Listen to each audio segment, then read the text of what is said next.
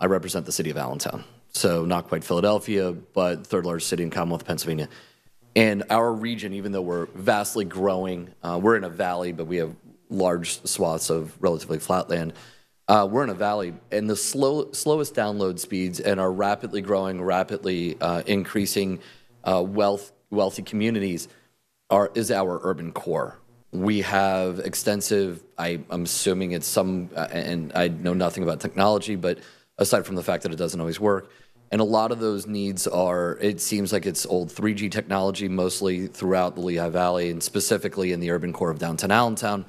Uh, and I know this is not unique, particularly in the non Philadelphia, non Pittsburgh regions of Pennsylvania, where you have these counties that are growing. You have an urban center, whether it's the city of York, the city of Harrisburg, uh, the city of Lancaster, and you have the wealthier suburbs around it that have newer technology as, as it's being built out. What are some of the ways that we can use some of these, uh, these dollars in a way to increase access for those largely underserved populations. I mean, my district's one of the poorest in between Philadelphia and, and, and, Pittsburgh in the Commonwealth. How do we increase access for those folks, affordability for those folks, eh, using the existing technology so that we could do so in a cost-effective manner? So, take a swing, or I'll take the first swing. Okay. So, uh, I lived in Bethlehem for five years. It's so a cute I, little town next door. It's a cute little town next door. We have a little Christmas thing that we do every year. So uh, now I'm back at the end of Route 81, last exit before Canada. But um, so I was there in the 90s when things were not going so well uh, in Allentown or in Bethlehem.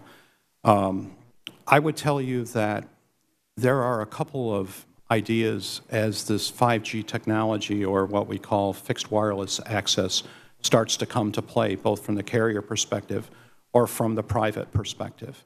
So there, there is nothing to stop WISPs from building private LTE and coming to the forefront to provide internet services in a place like Allentown.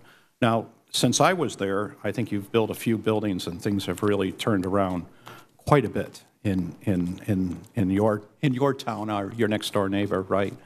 But for the people in Emmaus and Parkland and even where I lived in Old Farm Development, I mean, the problem is just non existent to us, right? But if I go to the middle of Allentown, which was kind of a bring your own gun kind of a place maybe 15 years ago, as things start to turn, what can be built now, the technology exists. The trick is that inside of Allentown, and Samantha kind of talked to it just a little bit. You need to find places, not just the towers that Crown Castle builds for 600K and then rents out and makes a small fortune on. But you need, you can bring the 5G technology and, and soon 6G technology, you can bring it in tighter to the buildings. The trick is for the city to help whoever's going to come to play to have access to the roadways to build either micro-trenching or conduit systems so we can put the fiber backhaul into motion. Now, the federal government has changed the SNAP program a little bit, but between the USF and the SNAP program, there's going to be dollars available, probably about $30 a month, that will come to the folks that cannot afford it. Now, I don't know if Pennsylvania will create a different set of rules than the federal government. I suspect they will as to who will qualify, right, for support in this kind of a play. But if the WISP could gain access to put their sites on towers and buildings and, and locations within the city that the city owns, they can create this environment. This, I called it a cover um, for, um, for the previous gentleman's question, but they can create a cover over Allentown. It can be done by the carriers, right? The typical T-Mobiles, Verizons, and AT&Ts. But it can also be done privately. And, and it can be built in a way with a little help, a little public-private partnership. It, it, can be put to, it can be put to life. You, you also bring up a point, if I may, and I'll, this will be my last question, uh, Mr. Chairman, because uh, I know we're pressed for time. Um, you also bring up a point that the carriers most likely will be providing some kind of low income incentive or some assistance for those folks. Uh, and you, you, know, you reference thirty dollars a month. Whether or not that's ultimately what it is, who knows? That's that's neither that's not for conversation. But I believe there's going to be a human capital role here in making sure that people know this government's really good at creating programs, then not investing anything and making sure people can actually get access to it. Um, my colleagues know my frustration with PA Power Switch as a for example, and so. Uh, we, there needs to be an investment on that side of it as well. There's a human side to it at all. Um, and, and, and when you talk about fiber and the moving forward on, on, on, the, on the last mile, with transient populations like we have in mind, I mean, 70% of my district are renters. And with that transient population, I can wire somebody's house with fiber and they can move in the next six months. And yeah, somebody else moves in, maybe they have the financial means to be able to, to connect to that, but odds are they don't. So that investment in the wireless last mile is more than just an investment in trying to help folks that live a mile away from the tower, but really it's also those folks that move frequently, and it's just easier for them to have a phone or a hotspot. And so, uh, any uh, your continued thoughts, your guidance on this is going to be very helpful to us because there's more to the wireless conversation and the and the broadband conversation than than uh, than non-served, and certainly extraordinarily important. I'm not diminishing that, but there's also those underserved populations. So, Yeah, yeah.